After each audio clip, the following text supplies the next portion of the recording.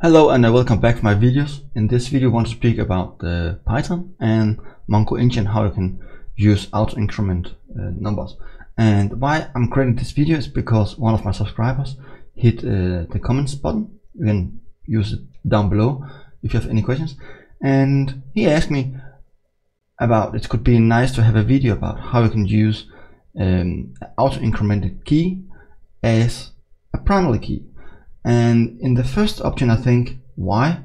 And then I remember about the, the MySQL using always the IDs so that's probably the reason. I don't know why.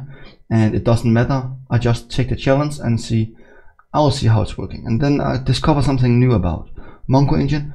And now it's time to show it with you and all that want to learn more about the Mongo engine framework.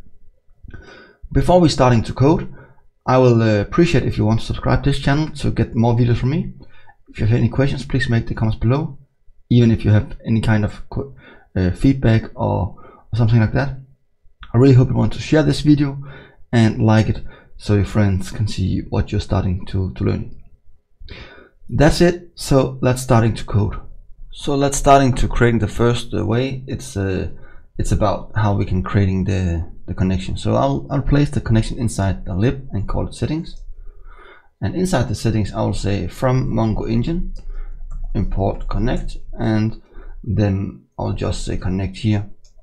And we need a database called test, and then we need the host. The host should be the local host, and uh, then we have the port number. It's a 27017, and then we need the username should be Mongo admin and the password is uh, secret. And we need to say authentication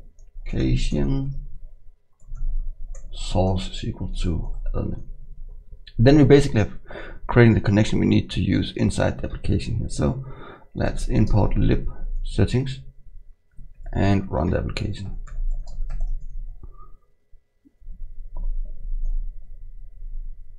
and here we go. Everything is fine so we can just go down. And we need to go inside the ODM and create a new file called post. That's what we want to gonna do now. It's creating the, the post ODM the first we're gonna do now is say from Mongo engine import document. And then we say from datetime import datetime we need that. Class post is equal to document. And then we need a post ID and we need the title description. Then we need created at the point we want to do now here is, is the post ID should be an auto incremented field and uh, then we need the title should be a string and description should be a string and credit that should be automatically the date in UTC format. Uh, from the date time here uh, every time we create a post we don't need that. And that's what we're gonna do now. So let's go up here to say string field date time field and sequence field. We just copied this in. And then we're going for the date time field and the default should be datetime and you see now. And then we just going for the post ID and put inside this uh, sequence uh, field. And then we just save it and going back for the application. Now we can go up here and say from ODM post import post and we are ready. So let's create a post. Post is equal to post and we only need the title uh, test post com test post title. And then we need the description. And description is uh, description for this test post here. And then we just need save. And that's it. So let's going and, and running the application. Just type python and then the app. And then we say something is wrong here it's saying date format doesn't have UTC so let's go back here and say UTC now.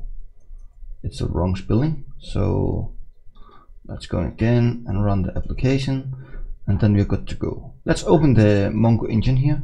I know that's just a little small. I don't know how i can i can scale it up but that's it. I hope you can see that. You can see we have two tables now. The first one is the mongo engine counters and the second one is the post let's first open the post and you can see we have the object id here and then we have the post id and title description and when it's created. If we're going back for the editor and run it one more time and going for the Mongo again and check it out. Now you can see we have one and two. It's automatically increment the post ID now, so we have uh, so we have the right number. And why it's doing that is uh, it's the part of the Mongo engine library.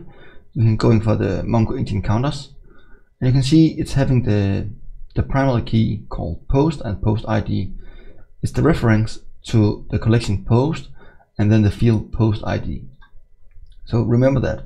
This collections contain all your uh, auto increments fields you use. So you should never remove this. And remember take backup of this field like you do from all the others collections. Now I know the next would be number two so what is actually say it's number two plus 1 and that's what the sequence is. Let's go back and try to use this as a primary key. I'll create a new uh, ODM here and I'll just call it users. Uh, I'm going to Mongo engine, import documents and string field, datetime field and sequence fields. Then we say class, whoops, classes here and call it users. And just say document. And uh, what we're to do now is say uh, user ID and the name. I'll just say string field here. And then we say created at datetime default datetime UTC now. And we're going up here to say from date time import date time and now I'll use uh, this one sequence field.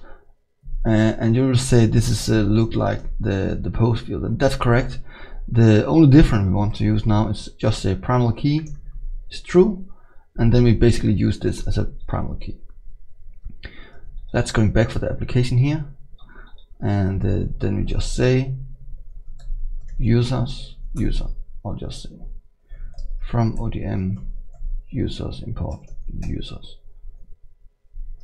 User is equal to users and username is equal to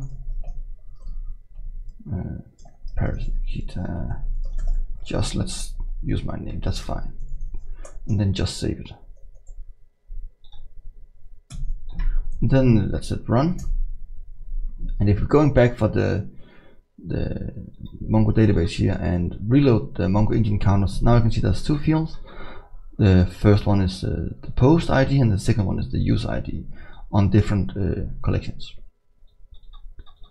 And if we're going inside the the user uh, collection, then you can see normally if we go in here, you can see the object ID is because the collection showing always um, the, the object, uh, the primary key in the overview. So if you open up, you can see the primary key is one, and my name is Paris Nakita Kejser, and this user has been creating today. And that's how we can use the auto incrementing and how you can use it uh, to uh, to as a primary key. I hope really you uh, you get this point, and I really appreciate your time here. And uh, now only wish you want to subscribe to this channel, you can go in the right corner below and press on the ding. If you have any questions, please make the comments below. I will try to answer them. And of course, don't forget to remember to hit the like button and the share button. And of course, the subscribe button. Thank you so much and hope to see you next time. Bye.